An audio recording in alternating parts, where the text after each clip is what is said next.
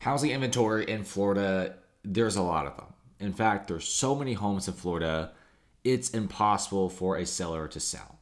There's not a lot of buyers since most buyers are very hesitant to go into the Florida real estate market because of rising home insurance premiums and also due to hurricanes.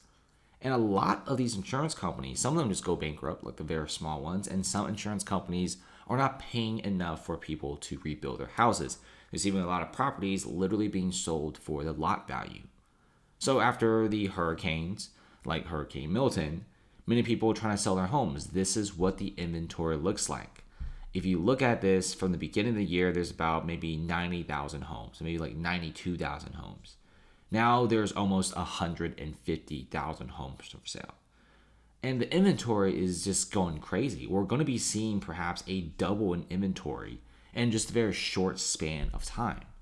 And when you look into certain neighborhoods, like this neighborhood in St. Petersburg, there is almost a 150% year over year rise in the number of homes for sale. And certain sectors are crazier than others. At the end of the day, we're going to be seeing it being a buyer's market. Unfortunately, for the seller, you know, a lot of their lives are damaged and it sucks. It's a massive hurricane. Billions of damage is being done. And we could be seeing over easily over $50 billion in total damages after these hurricanes. Insurance companies are fleeing. Homeowners are losing valuation on their homes. And people who work very hard for their homes are seeing their money just simply disappearing right before their eyes. And many of these homes are just flooded and a lot of them are hurricane damaged. We're seeing a lot of the market value for some of the coastal luxury homes in Florida decline massively. And people have been saying that Florida real estate is being in serious trouble because of affordability and availability of home insurance. At the end of the day, it's insurance. Every homeowner in Florida after these hurricanes 100% want good insurance. But good insurance is going to cost them an enormous amount of premium. And that's what we're seeing and it's a lot worse than what people think.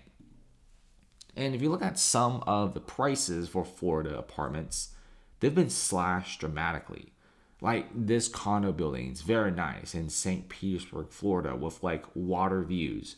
This is a condo that back in 2014 of this year, like January, it's so it was trying to sell it for like 1.2 million dollars, which is like a very expensive price. Now they're trying to sell it for $715,000, almost a half a million dollar cut in the valuation. This is on Zillow. You could go check it out yourself. Now, this seller actually bought it all the way back during the pandemic for just 700 grand and made a hefty profit. Now, if it wasn't really for these hurricanes, he could have easily sold it for close to a million bucks, my personal opinion. But because of these massive hurricanes, we're seeing some of the biggest price cuts ever. Insurance, HOA is so high. By the way, HOA is $2,300 per month.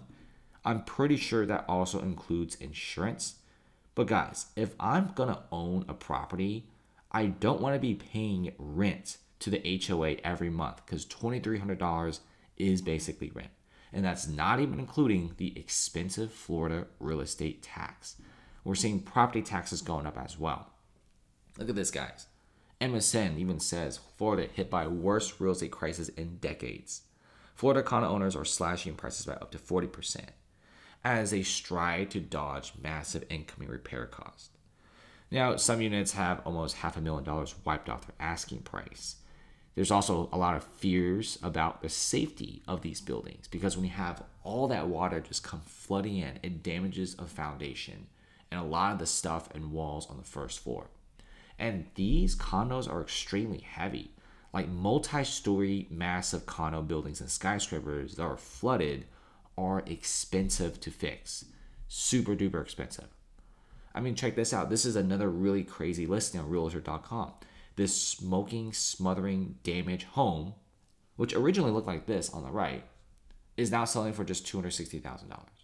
It's been on the market for seven days, and I'm sure somebody is probably gonna buy it. They originally tried to list this for about almost half a million dollars.